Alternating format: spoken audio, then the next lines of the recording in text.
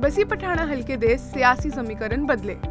ਜਿਵੇਂ ਹੀ ਰਾਹੁਲ ਗਾਂਧੀ ਨੇ ਇਹ ਐਲਾਨ ਕੀਤਾ ਕਿ ਕਾਂਗਰਸ ਦਾ ਪੰਜਾਬ ਵਾਸਤੇ ਮੁੱਖ ਮੰਤਰੀ ਚਿਹਰਾ ਚਰਨਜੀਤ ਸਿੰਘ ਚੰਨੀ ਹੋਣਗੇ, ਬਸੀ ਪਠਾਣਾ ਹਲਕੇ ਦੇ ਸਿਆਸੀ ਸਮੀਕਰਨ ਵੀ ਬਦਲਦੇ ਦਿਖਾਈ ਦੇ ਰਹੇ ਹਨ।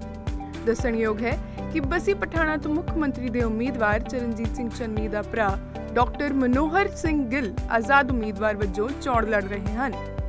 ਕਾਂਗਰਸ ਵੱਲੋਂ ਉੱਥੇ ਪਹਿਲਾਂ ਹੀ ਮੌਜੂਦਾ ਐਮਐਲਏ ਗੁਰਪ੍ਰੀਤ ਸਿੰਘ ਜੀਪੀ ਨੂੰ ਇੱਕ ਵਾਰ ਫਿਰ ਟਿਕਟ ਦੇ ਦਿੱਤੀ ਗਈ ਹੈ।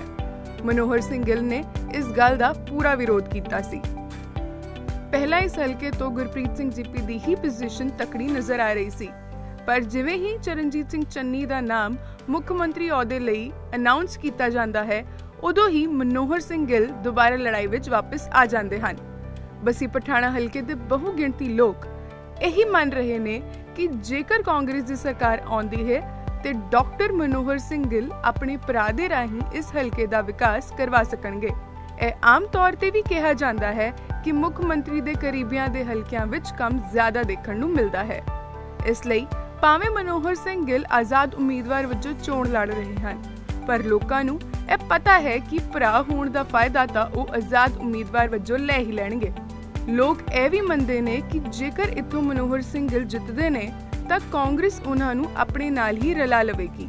ਚਰਨਜੀਤ ਸਿੰਘ ਚੰਨੀ ਵੀ ਪਹਿਲਾਂ ਇਹ ਕਹਿ ਚੁੱਕੇ ਹਨ ਕਿ ਉਹਨਾਂ ਦਾ ਭਰਾ ਉਹਨਾਂ ਤੋਂ ਬਾਹਰ ਨਹੀਂ। ਇਸ ਗੱਲ ਤੋਂ ਇਹੀ ਅੰਦਾਜ਼ਾ ਲਗਾਇਆ ਜਾ ਸਕਦਾ ਹੈ ਕਿ ਜੇਕਰ ਉਹ ਇਸ ਸੀਟ ਨੂੰ ਜਿੱਤਦੇ ਹਨ, ਤਾਂ ਉਹ ਇਸ ਸੀਟ ਕਾਂਗਰਸ ਦੀ ਝੋਲੀ ਵਿੱਚ ਹੀ ਪਾਉਣਗੇ। ਜ਼ਿਕਰਯੋਗ ਹੈ ਕਿ ਚਰਨਜੀਤ ਸਿੰਘ ਚੰਨੀ ਵੀ ਪਹਿਲੀ ਵਾਰ ਚਮਕੌਰ ਸਾਹਿਬ ਤੋਂ ਆਜ਼ਾਦ ਉਮੀਦਵਾਰ ਵਜੋਂ ਚੋਣ ਜਿੱਤੇ ਸਨ।